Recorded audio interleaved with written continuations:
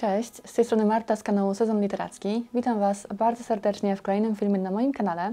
Dzisiaj zapraszam na taki końcowo-roczny tag, czyli The End of the Year Book Tag. To jest taki tag książkowy, który pojawia się na moim kanale co roku, już od kilku lat i co roku nie mogę się nadziwić, że znowu przyszedł moment na nagranie tego filmu, to znaczy ten rok minął mi tak szybko znowu, po raz kolejny, że naprawdę ciężko mi jest to uwierzyć, jak do tego doszło, jak to się stało, że to już jest ten czas na oglądanie vlogmasów, na czytanie świątecznych książek, na robienie wszystkich podsumowań typu najlepsze książki, najgorsze książki tego roku. Naprawdę mam wrażenie, że ten rok minął mi wyjątkowo szybko, ale już nie przedłużając, e, przejdźmy do tego tagu. On jest dosyć krótki, bo ma tylko sześć pytań i też na niektóre z nich nie mam takiej jakiejś bardzo rozwiniętej odpowiedzi, o czym zaraz się przekonacie. E, ja wiem, że te pytania w tym tagu, i to też chyba co roku mówię, gdzieś tam się różnią między różnymi wersjami, natomiast ja od samego początku trzymam się tej samej i po prostu co roku biorę pytania ze swoich poprzednich filmów. Także będą tutaj dokładnie te same pytania, które miałam w zeszłym roku, ale jest taka szansa, że gdzieś na innych kanałach widzieliście ten tag w lekko e, zmienionej wersji. No i przejdźmy może już do pierwszego pytania, a brzmi ono, czy są jeszcze jakieś książki lub serie, które chciałabym dokończyć jeszcze w tym roku? No i oczywiście są to wszystkie książki, które obecnie czytam, czyli aktualnie chyba trzy tak najbardziej aktywnie obecnie czytam Ballady Ptaków i Węży, czyli prequel do serii Igrzyska Śmierci. Zabrałam się za tę książkę w końcu. Ona leży na mojej półce chyba od trzech lat. Wydaje mi się, że ona była wydana w Polsce w 2020 roku albo w 2021. W każdym razie mam ją od premiery właściwie, natomiast dopiero teraz premiera filmu zmotywowała mnie do tego, żeby po tę książkę w końcu sięgnąć. Jestem dopiero na stronie 170, także nie jest to jakoś bardzo dużo, bo cała książka liczy sobie ponad 500 stron. Przyznam szczerze, że rozwija się to dosyć wolno, bo myślałam, że tutaj od razu wpadniemy gdzieś tam w tą akcję, od razu będą igrzyska, natomiast nie. To jest prawie 200 strona i jeszcze igrzysk nie ma, także e, naprawdę rozwija się to dosyć powoli i troszkę mnie ten początek męczy. Jakoś wydawało mi się, że ta akcja w Igrzyskach Śmierci czy w Pierścieniu Ognia była dużo bardziej wartka i dużo szybciej te wszystkie wydarzenia miały miejsce. Także zobaczymy, jak to będzie dalej. Mam nadzieję, że w końcu się rozkręci. Jestem też bardzo ciekawa filmu, więc jak tylko przeczytam tą książkę, to planuję wybrać się do kina. Druga książka, którą obecnie czytam, to są Ptaki Daphne du Maurier, ale jestem dopiero na samym początku, ponieważ w trakcie pierwszego tytułowego opowiadania, ale już mogę powiedzieć, że naprawdę niesamowicie mi się podoba i cieszę się bardzo, że jest tutaj dokładnie ten sam klimat, który znamy z Rebeki, znaczy który ja znam, bo do tej pory Rebeka jest jedyną książką tej autorki, którą przeczytałam. I tutaj też od samego początku czuć taki niepokój, czuć takie no, troszkę mroczne klimaty i bardzo mi się to podoba. Również mamy tutaj taki nadmorski klimat, podobnie jak w Rebece i wydaje mi się, że to właśnie też buduje cały ten nastrój takiej grozy. Także jak na razie jest bardzo pozytywnie, bardzo mi się podoba, ale tak jak mówię, jestem dopiero na samym początku, więc też jeszcze wiele się tutaj może zmienić. I ostatnia książka, którą obecnie czytam, to jest książka Lepiej niż w filmach. Czytam ją już bardzo długo, mm, gdzieś wydaje mi się, że od września. E, ale nie dlatego, że mi się nie podoba, tylko dlatego, że odłożyłam ją na jakiś czas, w tym momencie, kiedy miałam taki przestój, zastój czytelniczy. Jestem na stronie 143. Ją się czyta bardzo szybko i bardzo dobrze i naprawdę mi się podoba, tylko po prostu w momencie, kiedy miałam ten zastój, odłożyłam ją tak jak wszystkie inne książki, które wtedy czytałam. I jakoś tak teraz widzę, że leży i na mnie czeka i trochę kojarzy mi się z tym momentem zastoju, do którego nie chciałabym wracać.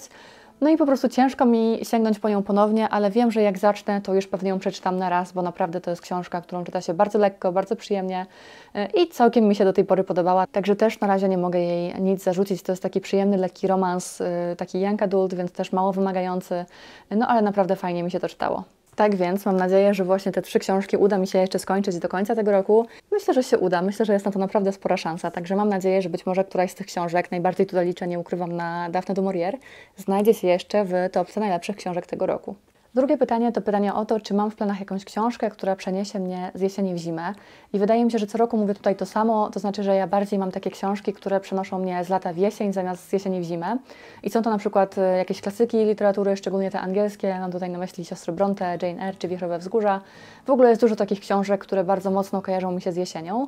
Natomiast z zimą jest trochę gorzej, ale też od e, paru już chyba lat, wydaje mi się, od trzech myślę może, może nawet więcej, nie wiem, ale od jakiegoś czasu w każdym razie nagrywam w grudniu takie e, pseudo-vlogmasy, takie wiecie, vlogi, które pojawiają się u mnie na przykład raz na tydzień i one są w takim bardzo świątecznym klimacie, no bo po pierwsze nagrywam je w grudniu, a po drugie staram się w nich czytać przynajmniej jedną świąteczną książkę, więc myślę, że właśnie takie świąteczne książki w grudniu to jest coś, co przenosi mnie w ten zimowy, świąteczny nastrój i również w tym roku mam w planach to zrobić, także mam nadzieję, że mi się to uda. Nie wiem jeszcze dokładnie, co będę czytać, ale mam dwie świąteczne książki na swoich półkach, które być może właśnie przeczytam, albo którąś z nich i mam tutaj książkę e, Garść pierników Szczypta Miłości oraz Wieczór taki jak ten. Także to są takie książki, które mam u siebie w wersji papierowej, ale oczywiście widziałam też już co nieco na Legimi. Coś chyba nawet sobie na półkę dodałam.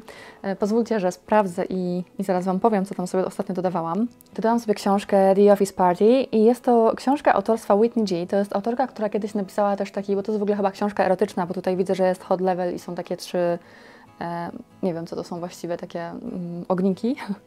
E, I to jest autorka, której czytałam kiedyś właśnie jeden erotyk i to był erotyk, który chyba miał tytuł Turbulencja i czytałam go dlatego, że oczywiście dotyczył lotnictwa, a ja wtedy nie wiem, czy jeszcze byłam stewardessą, czy byłam tuż po albo tuż przed. Jakoś tak, że byłam bardzo mocno wtedy w tym temacie. E, I całkiem mi się podobało, oczywiście jak na skalę erotyków, no umówmy się, że to nie są jakieś ambitne książki, ale naprawdę nieźle się przy nim bawiłam. Dlatego właśnie dodałam sobie też tę książkę na półkę. Ale oprócz tego mam też książkę W tym roku święta pachną tobą. To jest z kolei książka polskiej autorki Anny Langner i zainteresowałam się nią, ponieważ zbiera całkiem niezłe opinie i na Legimi też ma opinię 4,5 gwiazdki, także jest to naprawdę całkiem nieźle. I też fabuła wydaje mi się dosyć taka ciekawa, to znaczy z jednej strony taka bardzo typowa dla tego typu historii, ale z drugiej strony to jest taki motyw, który ja bardzo lubię. Mamy tutaj początkującą pisarkę, która otrzymuje propozycję napisania biografii jakiejś znanej kobiety, tylko nie pamiętam, czy ta kobieta była aktorką, czy piosenkarką, czy też jakąś e, pisarką, ale w każdym razie jest to bardzo znana postać. E, no i oczywiście przyjmuje tę, tę propozycję i tam chyba spędza czas też z jej bratankiem, nie wiem, kimś z rodziny w każdym razie, no i tam oczywiście między nimi nawiązuje się pewna relacja. Także to też jest książka, która jestem ciekawa, więc być może którąś z tych czterech książek właśnie przeczytam w grudniu i to będą te książki, które przeniosą mnie w ten zimowy, świąteczny nastrój. Kolejne pytanie to pytanie o trzy książki, które chciałabym przeczytać jeszcze w tym roku. Myślę, że pokazałam Wam już ich całkiem sporo, bo pokazałam Wam trzy książki, które czytam obecnie, plus cztery książki takie świąteczne, więc mam tutaj tylko dwie, bo doliczam do tej puli po prostu też te książki poprzednie. I przede wszystkim jedną taką książką, którą bardzo, bardzo chciałabym jeszcze w tym roku przeczytać, jest Łuk Triumfalny. E, to jest książka, o której słyszałam mnóstwo dobrego i w ogóle autor, o którym słyszałam naprawdę niesamowite rzeczy i wydaje mi się, że już cały BookTube właściwie kocha tego autora, a ja jeszcze nie miałam okazji czytać żadnej jego książki. Także to jest coś, co chciałabym przeczytać jeszcze w tym roku. I szczerze mówiąc, to jest taka książka, na którą bardzo mocno liczę, że stanie się ulubieńcem tego roku, bo nie mam w tym roku jeszcze takiego bardzo silnego faworyta. Chyba żadnej książce w tym roku nawet nie przyznałam pięciu gwiazdek. Także naprawdę nie wygląda to dobrze, patrząc na to, że za chwilkę będzie podsumowanie najlepszych książek roku. Także to jest coś, na co naprawdę bardzo, bardzo liczę. Druga książka to jest coś, o czym też już Wam tutaj wielokrotnie mówiłam i jest to reportaż Nomadland. No nie będę się powtarzać, bo tak jak mówię, już wielokrotnie o tej książce mówiłam na kanale, o tym, że mam ją w planach, że chciałabym ją przeczytać. Także też ciągle mam ją w głowie, ciągle o niej myślę i ciągle chciałabym ją przeczytać. Także to są te dwie książki, które jeszcze w tym roku chciałabym poznać. No a poza tym właśnie te wszystkie, które przed chwilką Wam pokazałam, także myślę, że nie ma co pokazywać tutaj trzech, bo tak naprawdę pokazałam Wam dużo, dużo więcej. Kolejne już piąte pytanie, czyli przedostatnie.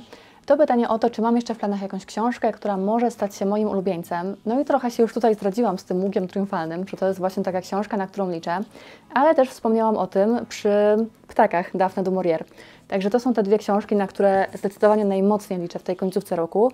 I mam takie, wiecie, podskórne przeczucie, że może tak być, że one mogą do tej topki naprawdę trafić, a nawet przeczuwam, że mogą być w takiej ścisłej topce, wiecie, w top 3 albo nie wiem, top 5. Także pokładam w nich naprawdę spore nadzieje i tym bardziej liczę na to, że uda mi się je w grudniu jeszcze przeczytać.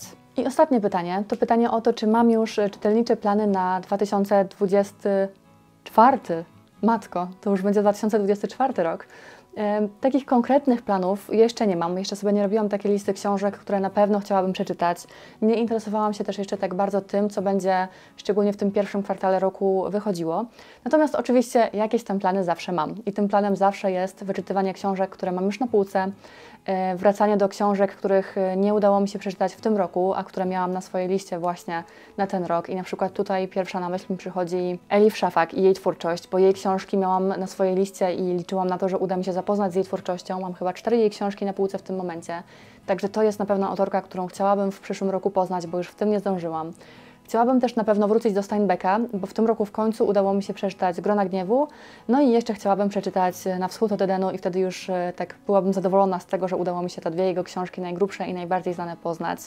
Chciałabym też w końcu wrócić do Jane Austen, o której ciągle mówię, a dalej nie udało mi się jej przeczytać. I w ogóle być może sięgnąć po trochę więcej klasyki, bo na przykład mam też na półce e, Tess Taberville, którą też bardzo bym chciała poznać. Mam też Annę Kareninę w tym przepięknym wydaniu Świata Książki, ale akurat tutaj, no nie wiem, nie będę mówić, że to w moich planach, bo myślę, że, e, że mogę przecenić swoje możliwości.